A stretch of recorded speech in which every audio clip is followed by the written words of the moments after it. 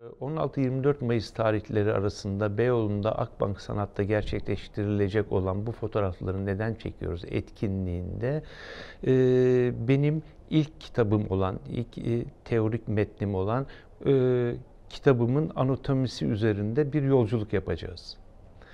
Bu yolculuk boyunca fotoğrafın bizlere bırakmış olduğu, fotoğraf tarihinin bırakmış olduğu teorik birikimin güzergahında ilerlemek istiyoruz.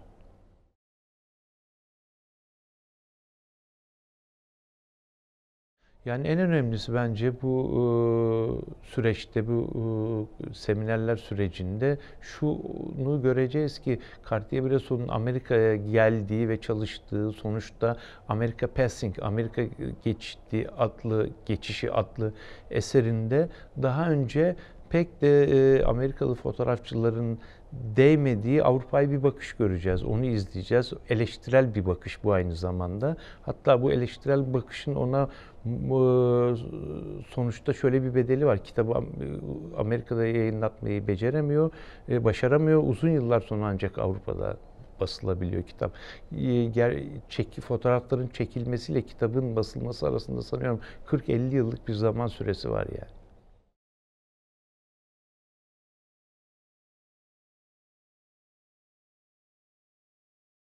Bir kere Raf Eugene Midyard hakikaten e, Zen'in boş zihin dediği bir şeyden, aşamadan geliyor. Daha önce e, basit bir amatör e, kurs almadan önce ki bunu yerel bir fotoğraf derneğinde alıyor yaşadığı şehirde. Fotoğrafta hiçbir ilişkisi yok. Fotoğraf tarihiyle de e, bir e, ilişki kurmamış. Dolayısıyla fotoğraf tarihiyle ilk e, kurduğu ilişki, fotoğrafla kurduğu ilk ciddi ilişki Minor White'ın o yerel üniversitede açtığı bir kurs da oluyor. Onun üzerinden e, Minor White'ın kişisel tavrından, değindiği fotoğrafçılar üzerinden e, kendi bir takım işler üretmeye başlıyor. Süreç içinde işler üretmeye başlıyor. Ve bu işler daha önce e, şimdi belki de ki iletişimin bu kadar yaygın olmaması, örneklerin çok bilinememesi çok özgün örnekler çıkarıyor kendi içinde, zaman içinde. Ve bunlar hakikaten kısa zamanda çok beğenilen ve ilgi gören işler oluyor. E, Minor White da e, kendisi fotoğrafı el yordamıyla bulan bir fotoğrafçı.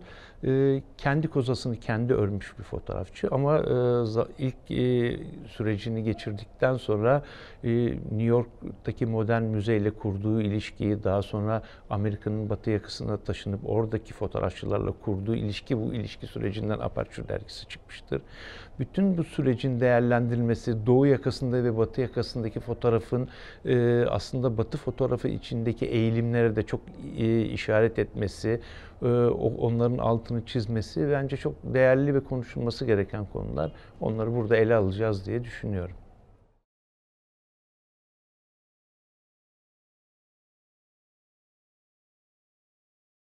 Kuşbazlar benim ilk işim. Ee, çok enteresandır.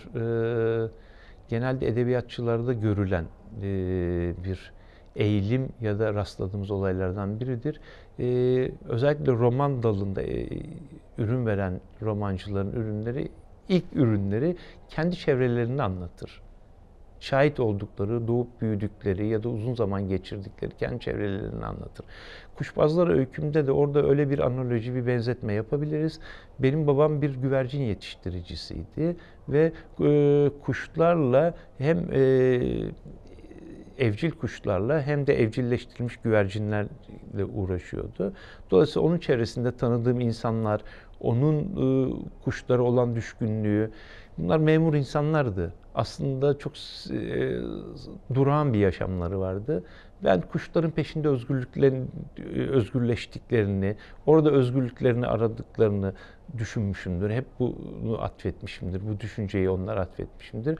Ama sonra büyük şehre geldiğimde bu insanlarla başka bağlamda tanıştığımda benzer işleri yapanların çok enteresan bir şekilde her ekonomik sınıftan zengin ya da fakir hemzemin bir noktada buluştuklarını ve eşit olarak her şeyi paylaştıklarını gördüm. Bu çok ilgi çekiciydi benim için ne ekonomik ya da sınıfsal olarak durumları ne olursa olsun her şeyi çok eşitçe paylaşabiliyorlar. Ortak faydaları bir kuş ve bir kuşun kanatlarıydı. Bu açıdan benim için çok e, cezbedici bir şey olmuştur kuşbazlar. Zaman zaman parçalı işler olarak bazı sergilere katıldı.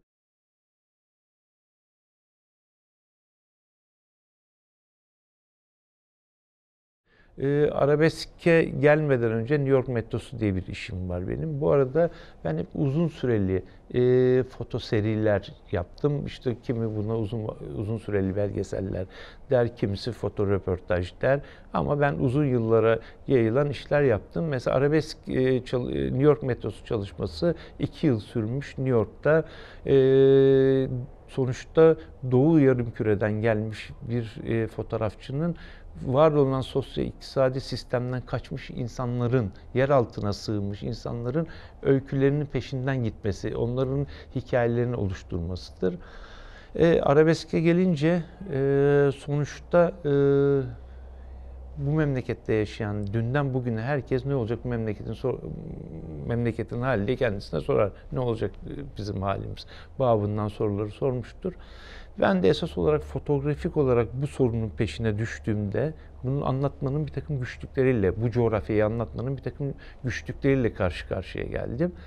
Neydi? Bir kere e, fotoğrafik olarak bir şeyi anlatabilmek için o zaman şeridinde hareket etmenin yarısında bunun görünür bir şey olması gerekiyor. Görü, e, anlatılacak somut bir hikayenin bir şahitliğini yapmanız gerekiyor. İşte bu konuda bakıldığında bu coğrafyadaki bana göre en dertli, bizim dertlerimizi anlatabilecek iki yol haritası saptadım ben. Biri mimaridir, diğeri de müziktir.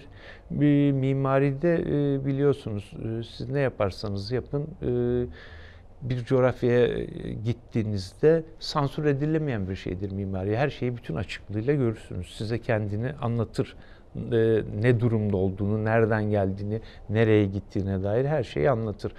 E, müzik de o şekilde sansür edilen bir şey değildir. Mesela benim Küba yolculuğum oldu. Küba'da biraz zaman geçirdim. E, hiç İspanyolca bilmesem bile müziğin bana kattığı duygu hiç hüzünlü bir şey yok Küba'da. Her şey daha motive ve daha neşeli olmaya e, şey yapan, insanı teşvik eden bir müzik var. E şimdi e, şeyin Adorno'nun bir sözü var. Müzik aynı zamanda bir coğrafyadaki e, çelişkili, çelişkilerin ve gerginlikleri de anlatır diye. Tek başına müzik değil. Nasıl futbol sadece futbol olmadığı gibi. E, bu baptan bakıldığında e, bu coğrafya güç, göçlerle kurulmuş bir coğrafya. Sonunda bunun taşıyıcısı da müzik. 70'lerden beri özellikle geçirdiği evrim bence Türkiye Cumhuriyeti'nin tarihini özetler gibi. Çünkü Türkiye nereden baksanız Tanzimat'tan beri fikir olarak batıya gitmeye çalışan, batılı olmaya çalışan bir ülke. Ee, ama aynı sakallı Celil'in söylediği gibi bir geminin güvertesinde bir grup insan batıya koşsa da gemi doğuya gidiyor. Ama bence Orta Doğu'ya doğru gidiyor. Bu co- coğrafyada an, e, ortaya çıkan müzik türü Türkiye'nin kimlik problemini çok iyi anlatıyor diye düşünüyorum.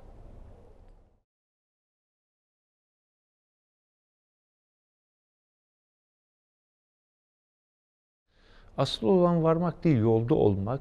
Çünkü gerçekten yolda oluş sürecinde insan e, her an kendini yenileyip hem bir takım flashbackle, flashbacklerle geri gidiyor hem de o anda bir sıçrama yapma olanağına sahip.